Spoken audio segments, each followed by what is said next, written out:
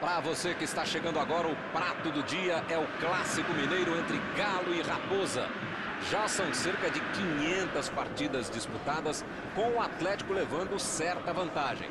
Mas aqui ninguém é freguês de ninguém. Ambos os clubes já passaram por longas sequências de até 10 ou mais partidas sem vencer o rival num clássico.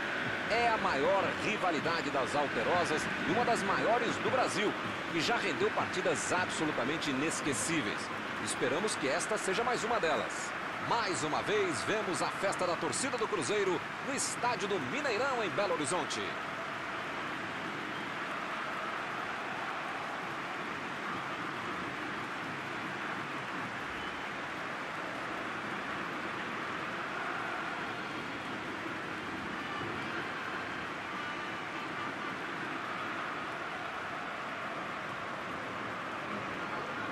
Amistoso aqui, só no nome, né, Mauro? Para a torcida, isso é igual a final de campeonato.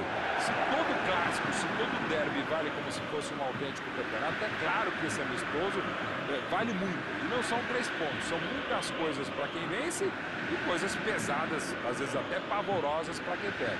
Então vai ser um jogaço sensacional, como sempre é um clássico como esse.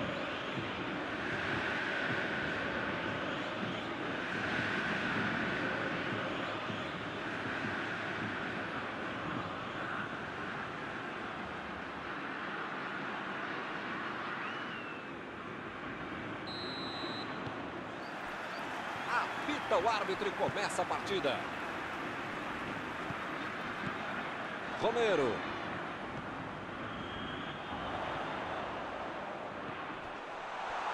Abriu o jogo lá na direita. Olha o cruzamento. Aí ele pensou, vou botar o cara para correr. Scarpa tentou a metida de bola. O time conseguiu o contra-ataque. Hulk procurou alguém ali na frente. Olha aí, uma boa oportunidade. Pode sair o cruzamento. Vem a batida!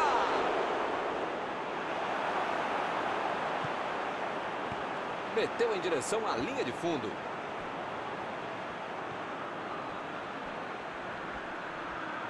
Protegeu bem a bola.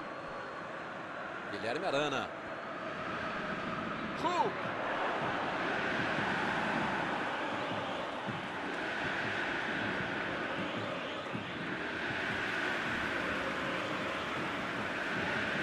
Cruzeiro fica ali tocando a bola para lá, bola para cá e não assusta ninguém.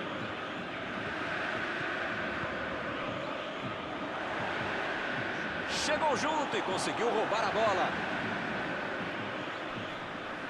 Hulk. Scarpa. Recebeu em boa posição. Bola enfiada entre a marcação. Chutou! Gol! Ele não perdoa! Muitas vezes no futebol de hoje, o atacante é o primeiro zagueiro. Recuperou a bola e todos passaram a atacar e fizeram um contragolpe perfeito, um belo gol.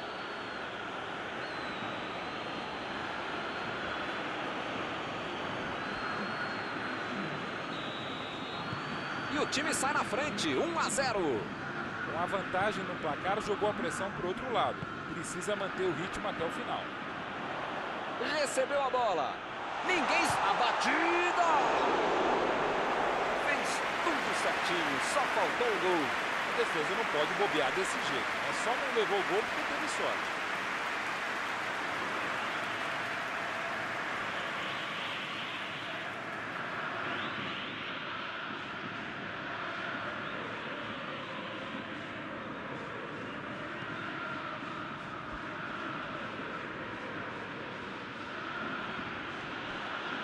Otávio. O time não perdeu a chance. Fez 1 a 0. Recebe Hulk. Fez o lançamento para frente.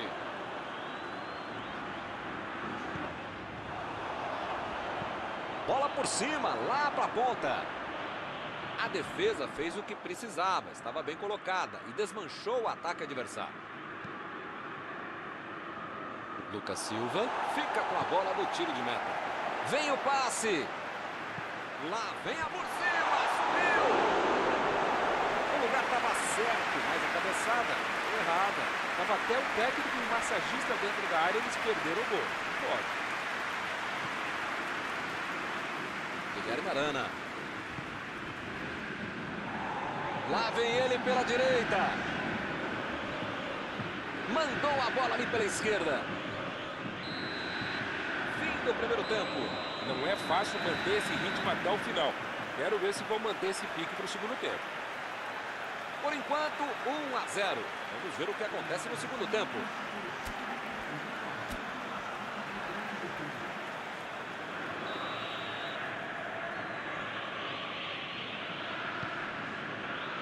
Vamos para os 45 minutos finais.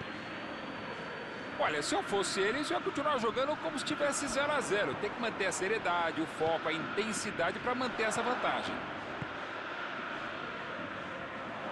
A metida de bola. E é escanteio.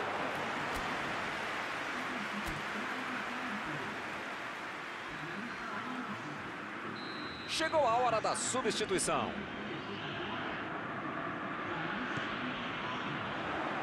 Subiu alto e tocou de cabeça. Opa, que cabeçada foi essa, hein? Que beleza.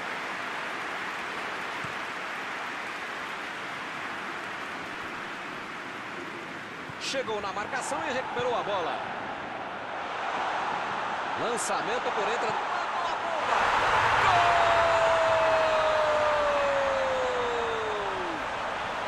O time conseguiu. Empatou e agora vai para cima.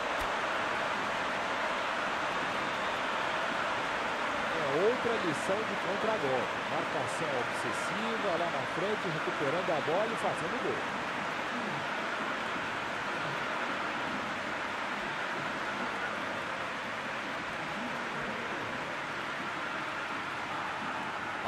Gente Nova entrando em campo.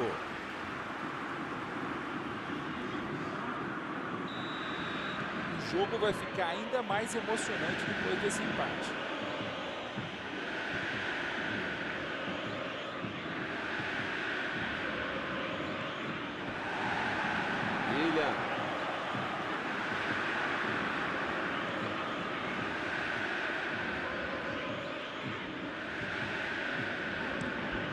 Ele está buscando o jogo. Olhou e cortou essa bola. Vargas. Agora é com o Hulk. E o juiz marca falta. Abriu ali pela direita. Vargas. Guilherme Arana.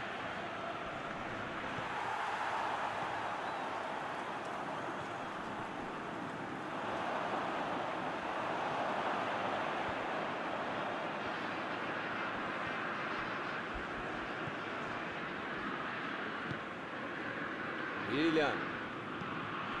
Lucas Silva. Passe para frente. Bola enfiada pelo meio da defesa. Recebeu o passe.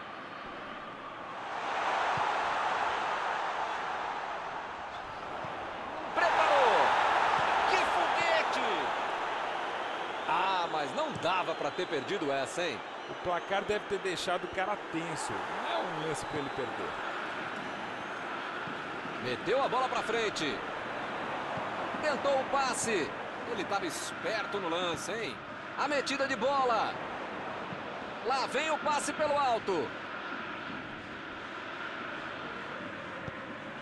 Eu não gosto de me arriscar em palpite, primeiro porque eu erro e segundo o trouxa aqui que fica sendo cobrado. Mas depois dessa aí, eu acho que o jogo vai acabar empatado mesmo. Acabou com a festa do ataque.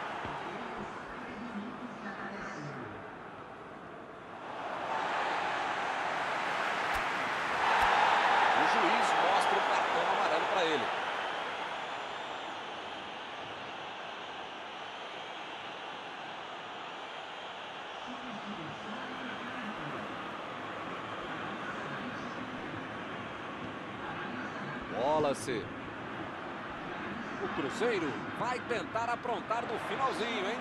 Bola enfiada pelo meio da defesa. Apita o árbitro, fim da partida. O jogo terminou igual, ninguém merecia ganhar. Ficou bem para os dois lados.